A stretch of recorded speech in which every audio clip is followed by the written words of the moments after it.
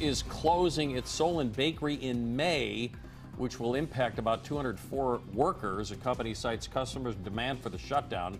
More than 1,200 Ohioans currently work at Schwebel's. There are also bakeries at Youngstown, Hebron, in Licking County. Schwabel says Solon workers can apply for jobs at other locations within the company. The Fox